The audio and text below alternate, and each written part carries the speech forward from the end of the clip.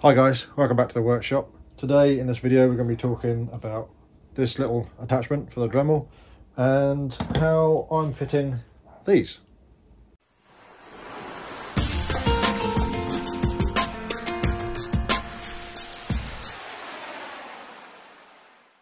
So yeah, in this video um, I'm going to be going over something that I, how can I word it, something I discovered, used, played with a good while ago. Um, I actually made a bit of a video about it up here. I'll put a card to it. Um, it raised a few comments at the time. Um, the first thing I would say right now is a bit of a disclaimer. I choose what PPE I wear and don't wear. Um, that's my choice. Um, always follow the manufacturer's guidance, instructions, etc., etc. Um, I'm not held responsible for you getting ill from using one of these or injured. So, what am I doing with this? Well, in here, um, I don't know how well you'll be able to see this distance, but I'll show you shortly.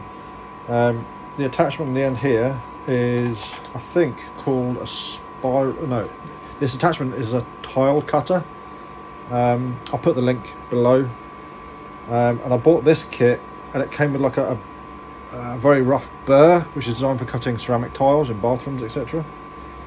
But it also came with a spiral fluted bit um, which I don't think was meant for tiles. But I thought I'd experiment with it on wood and whatnot. And then it dawned on me that you could set these up to cut very accurate servo wells.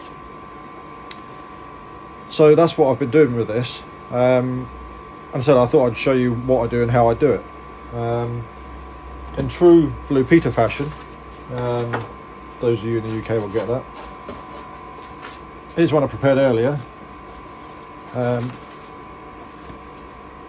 the well has been marked out where I wanted it and I just basically followed the line and milled out all the balsa and foam in between so that the servo cover fits neatly in there.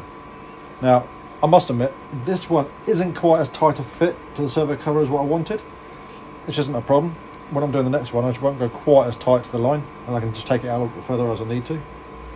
Um, so, yeah, I'll bring you in closer, show you what I'm on about with the tool, um, and then I'll show you hopefully um, what it's like up close doing its job um, on the other wing which I've already got marked out. Okay so the tool itself um, again I don't know how well you saw previously but this is the the adapter. Um, this is the Dremel that I'm using. It's a few years old now but I believe this adapter fits on the standard all the standard Dremels available just now. Um, I'll, I'll put the link below to this kit. As you can see, there's a spiral bit in the end. Um, these bits are this part number, 561. Now, one of the differences, again, I don't know how well you'll be able to see on camera, um, there's two different types. There's what I'd call a plunge bit or a through bit. The through bit doesn't cut at the end, the plunge bit does um, and it's the plunge bits that I want to be using for making these servo wells. So I said these are all marked out using the laser cut um, servo hatch as a, a guide. I said this is a little bit loose for my liking, but it's not a problem. Um, now it's stuck in there.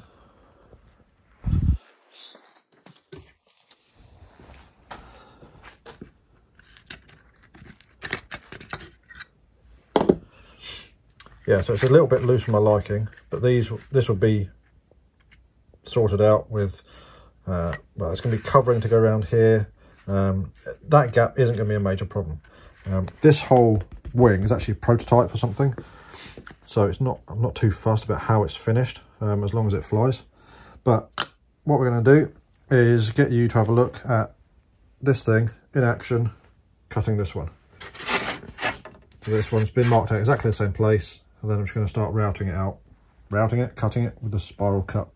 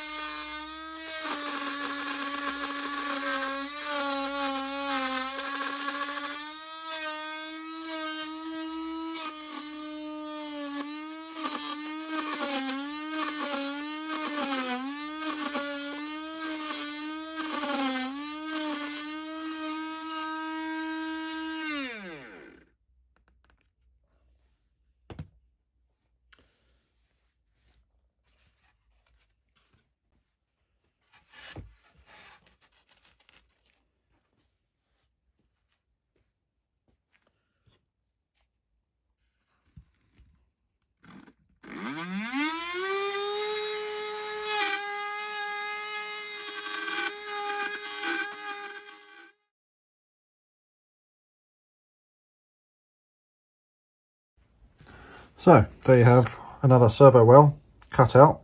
Um, excuse me.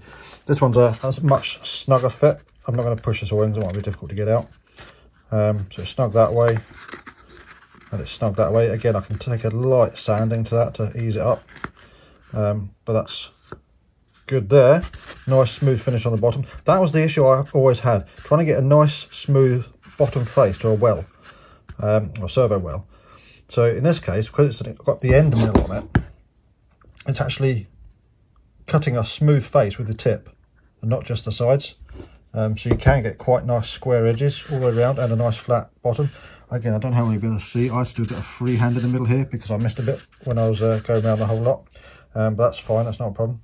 So these servo covers are actually going to be for these thin wing servos. Um, these blocks get mounted in the corners and then that gets screwed to it with a servo arm sticking out the hole. Um, quite a simple setup. Um, these might even be, these covers might even be made available as like a kit. Uh, not sure yet, I'm still experimenting with them. Um, they've got marks for where the support bracket goes for the servo. Uh, so the servo gets mounted onto a piece of birch ply that gets glued in there then screwed to that. Um, so yeah. So that is the spiral cutting router bit thing um, from Dremel. I really do like them. Um, I don't think they're that expensive, the actual bits, um, although I can't remember how much how much they are. Um, I'm going to say about a tenner, but I'll check out and see how much they are at the time of filming. Um, they do do a good job. Um, if you are making servo wells or any sort of accurate cutout that you need um, a nice accurate square edged cut for. For example, um, the other thing I've used it for is spar slots. Um, I've set up a guide, a piece of wood to run the router along at the right measurements, spacings, etc. Set the depth um, of the bit and then just run along it. While I think about it, that's one thing I didn't say. What I've done here is I've actually set this to the right depth for the servo. Um, the servo cover outer face and the servo comes to 12 mil. This I've set to 13 mil depth, um, so I've got a little bit of play, um, and that's more enough. There's more enough meat in the wing of this particular wing to do that. Other wings you might have to be careful about how you do it. Um, but yeah, it's a good piece of kit. Um, it enables accurate cuts quickly and efficiently. It does create a bit of mess and it is noisy with a Dremel. Um, but it's a good piece of, as I said, good piece of kit, and I use it all the time. Um, as I said at the beginning of the video, PPE, you decide what you wear. I decide what I wear. Uh, I don't take any responsibility for anybody getting injured or whatever from using this sort of stuff. Um, so I don't need comments on that. Um, any other comments, positive or negative about the actual job involved, put them below. Um, I always read them, always respond to them. Um, if you're liking this video, give us a thumbs up. Helps the logarithm or algorithm or whatever it is that YouTube uses to get my videos out there. Um, and if you're not already, subscribe to the channel. And if you hit the bell, as soon as I put a new video up, you'll get a notification about it. Normally on a Friday evening, I'll try and put videos up. Um, but uh, from me here in a very messy and busy workshop, uh, I'm going to crack on and I'll see you a bit later.